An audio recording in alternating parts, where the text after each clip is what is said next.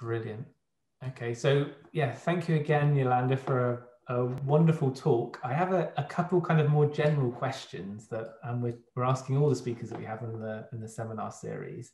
So to get started, the first question I've got is basically what got you started in science and eventually led you moving into kind of synthetic biology and biodesign more broadly?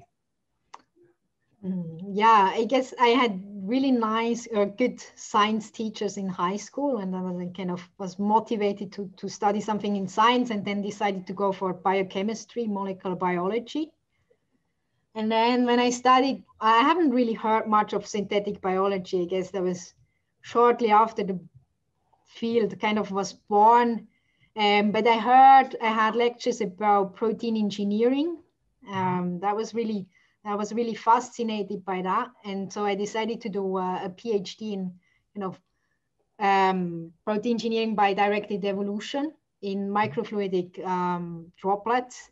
In the end, I've done a bit more method development than you know engineering, but but still very interesting. And then and then really synthetic biology took off. Right, it was with the emerging field and I want definitely want to stay there. And I then wanted to increase complexity, kind of from proteins to to engineering gene regulatory networks, right? And then that's what I went for my postdoc, and that's what we're still doing.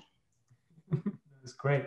Um, but is is there so are there certain approaches? Because when I speak to various people, they they all have sort of their favorite part of a field in a way, the thing that they really like enjoy is there a particular area in synthetic biology that that you you've always been kind of in love with in a way and that's kind of really shaped where where you, what you've done and also where you're probably going to go in the future in some ways well yeah i mean the, the circuits I, I like a lot and what i also enjoy is kind of the interplay between computational and experimental biology mm-hmm. so we typically you know most of our projects start with some kind of model that says okay this circuit topology should be able to do this and this.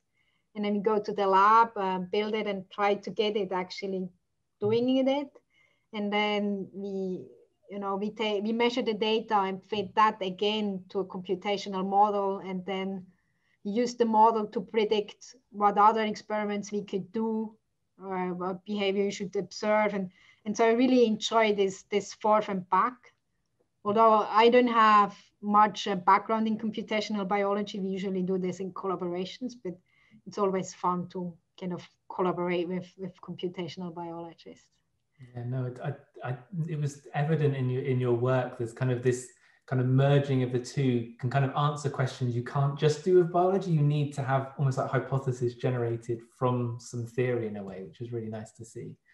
Um, I guess kind of related to that, then what do you feel kind of the, are the biggest hurdles then holding back synthetic biology in a way? Um, is there a particular method that we're missing, or is there a particular aspect we're just ignoring, or is, is what, what's your feeling in terms of the, the difficulties in pushing the field forward? Hmm. I think one of the big challenging is challenges now moving from you know the proof of principle circuit in the lab that works nicely to robust and reliable systems that we actually could use in, in real world settings for applications. So I think that's still, you know, some work to do. If something works in under control condition, that doesn't mean yet you will work inside a body or on a packaging or, or wherever you would like to use it then in the end. So I think still have work to do there. Um, and then in addition, I guess we also need to address regulatory and, and ethical issues to then go forwards and, and use synthetic biology in everyday life. Definitely. No, I think that's it's a yeah. We, we're not going to get when people aren't going to buy into it unless they they believe it's safe or there's not going to be harmful side effects and stuff. So it's really really important. Um, so I guess looking looking to the future, if you, I don't know, 10, 15, 20 years time, what do you think synthetic biology is going to have done to the world or to our everyday life that, that maybe we wouldn't expect today in some sense? Well, hopefully a lot. Um, I really think it, this technology has the potential for, you know, the next industrial revolution. Um, I, I, you know, it has potential applications in almost every aspect of our lives. Um, Don't know, detect and treat diseases, um, produce fine chemicals, biofuels, smart materials, just a few examples. And I also hope um, we can contribute, you know, to a sustainable society and, and bring up, come up with solutions, you know, to stop climate change and, and environmental degradation. Yeah, no, a, they're going to be problems we're going to face in our lifetime for sure. And then the last question I've got is, it, do you have any advice for kind of a student that's starting out in research? Is there anything that you've? we've all made mistakes, or there mistakes you wish you hadn't hadn't made, or you wish someone had told you something to sort of help guide you as you get started in in science and research?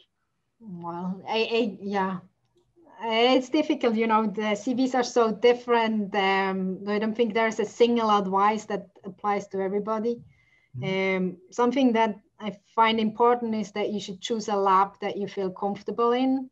You know, there's a nice working environment with a PI who cares about you, not just about your results. Um, that's certainly important. Um, yeah, another thing, I guess it's no, not enough to do great science, but you also need to be able to communicate it, right? Especially as a PI, all what they do is kind of you know, um, give presentations, write papers, write grants. Um, so any any time invested in practicing, uh, communicating your presentations or writing, that is well invested time. That's great. I think that's, that's very good advice for sure. Um, that's all the questions I had. So I just want to thank you again for a really wonderful talk and um, I'll, I'll post online some of your your recent papers on some of the stuff that you were talking about because um, those are some beautiful figures in there of the of the oscillations and the things turning on and off and the spatial patterns and stuff. So that that'll be really good. Good. Thanks again. Welcome.